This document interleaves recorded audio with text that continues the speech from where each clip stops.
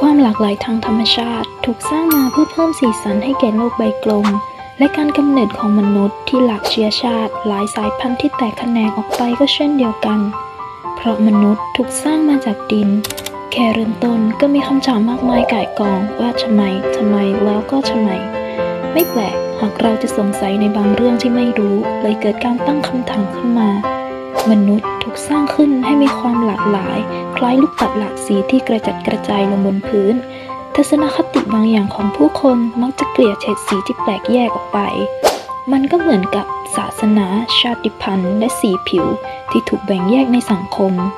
ทั้งที่ผืนดินบนโลกใบนี้นั้นกว้างใหญ่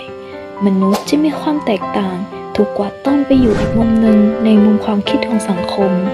ซึ่งจริงๆ แล้ว สีแต่ละสีล้วนมีความหมายและคุณค่าต่างกันออกไป เราไม่สามารถที่จะลดทอนสิ่งที่เขาเป็น เพียงเพราะมองเขาต่าง ในอายัดอัลกุรอานองค์การหนึ่งความว่า ผู้ทรงทำให้ทุกสิ่งที่พระองค์ทรงสร้างมันให้ดีงาม และพระองค์ทรงเริ่มการสร้างมนุษย์จากดินสุราะห์อัลซะจดะอายะที่7ด้วยศาสนาอิสลามเชื่อว่า พระเจ้าได้สร้างอาดัมเป็นมนุษย์คนแรก เมื่อพระองค์ทรงสร้างร่างกายของอาดัมเสร็จเรียบร้อยแล้ว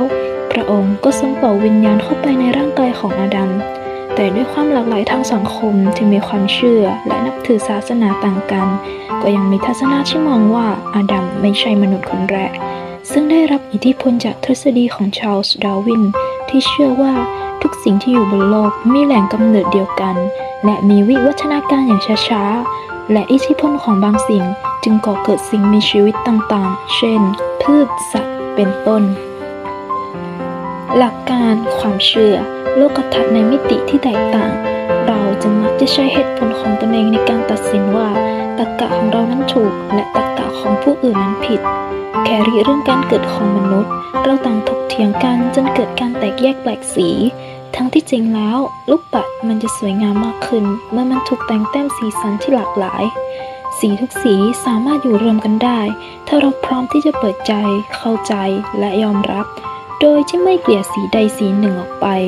เช่นเดียวกับการอยู่ร่วมกันในสังคม ที่เราควรจะเคารพสิทธิ์ของเพื่อนมนุษย์ ไม่ตั้งเจตนาที่จะแบ่งแยก และเราควรได้รับสิทธิ์ที่จะอยู่บนโลกนี้ได้อย่างเสรีภาพและปลอดภัย